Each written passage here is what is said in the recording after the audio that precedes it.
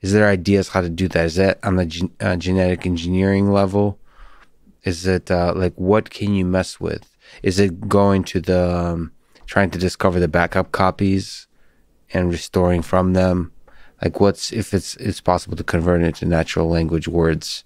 What are the ideas here? What is the observer? and how do we contact it? Exactly. How, what's the observer and how do you contact? It? Or if there's other ideas, how to reverse the the the, the balls getting lost process. Yeah. Well, you you can slow it down. Slow it. But we found that a reset switch recently. We just published this um, uh, in the December 2020 issue of Nature, um, and what we found is that there are three embryonic genes that we could put into the adult animal to reset the age of the tissues. And it only takes four to eight weeks to work well. And we can take a blind mouse that's lost its vision due to aging, neurons aren't working well towards the brain, reset those neurons back to a younger age, and now the mice can see again.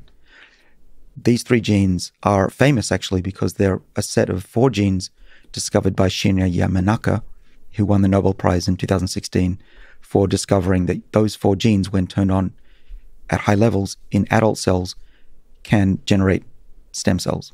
And this is, I think, well known now that we can create stem cells from adult tissue.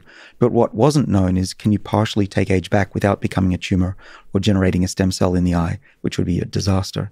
And the answer is yes. There is a system in the body that can take the age of a cell back to a certain point, but no further, safely, and reset the age.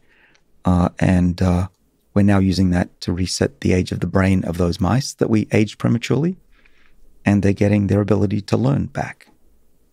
This is really exciting, right? Like, what's uh, what's the downside of this? Well, the downside is if you overdo it uh, and you don't get it right, uh, you might cause tumors. But we do we do it very carefully, and we also know that in the eye it's very safe. Yeah. We also injected these. We we give, deliver them by viruses, so mm-hmm. we can control where and when they get turned on. And in this paper, we've published that if we put high levels in the mouse yeah. into their veins throughout the body, yeah. they don't get cancer for over a year. So I'm so optimistic that we're going into human studies in less than two years from now.